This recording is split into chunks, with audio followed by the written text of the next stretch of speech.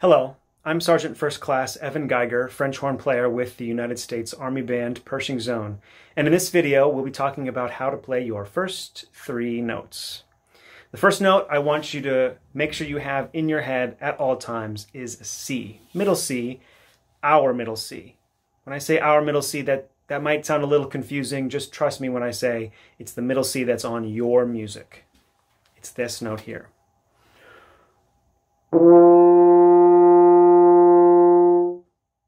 Play this note, make sure that you are sitting up straight, you take in a lot of air, you're forming a correct embouchure that is corners in, chin down, and that that is all directed down into the horn. You're not going toward the horn and you are uh, don't feel like you're reaching for the horn, but it's coming to you.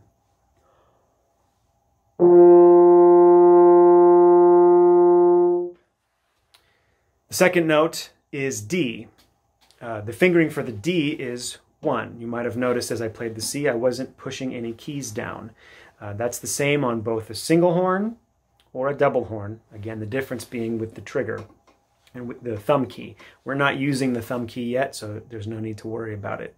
So that C again was no fingers down. The D is one fingers down, and it's just a little higher than the first note.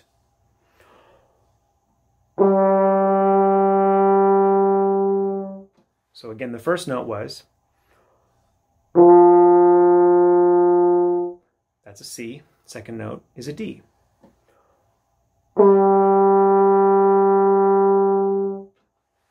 And the third note, I'd like you to know, is just one step higher than that, and it's an E.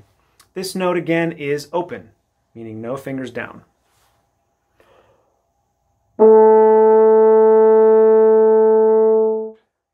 Those three notes again are C, D, and E. They sound like this together.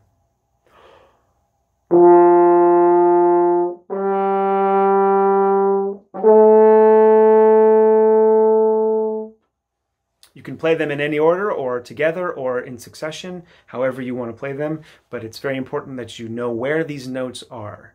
This is go going to become more and more important as you play more because you'll notice that lots and lots of notes have the same fingering.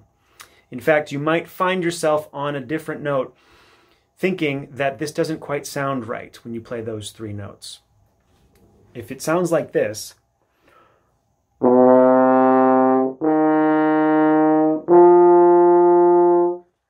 that means you're too low. If it sounds like this,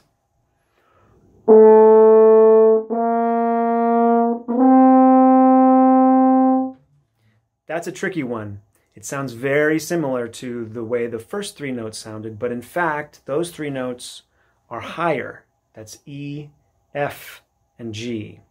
What we want is that C.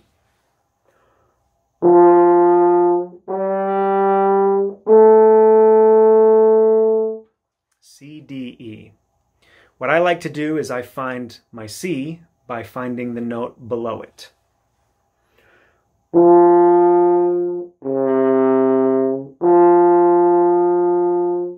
Those notes sound somewhat far apart and I'm not pushing any fingers down. If those notes sound mostly far apart, then you're probably on the right note. If they sound a little bit too close together,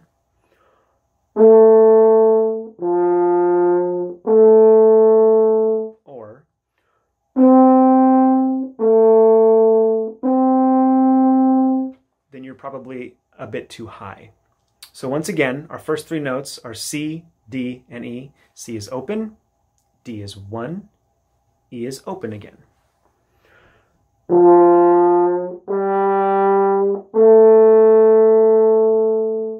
And what I'd like you to do is go over these notes several times like this.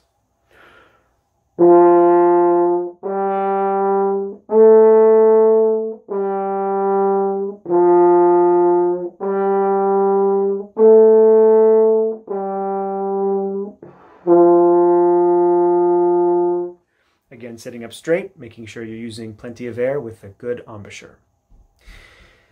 That's it for this video, and I hope to see you on the next one.